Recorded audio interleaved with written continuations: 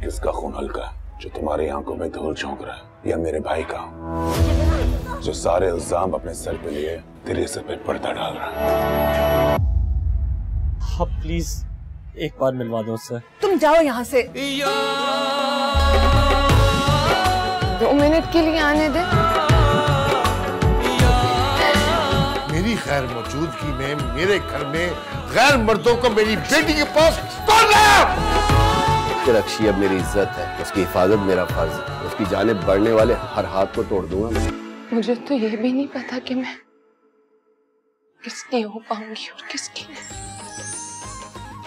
Pantene presents पहली सी मोहब्बत। देखिए आज रात 10 बजे सिर्फ़ ए आर वाई डिजिटल पर।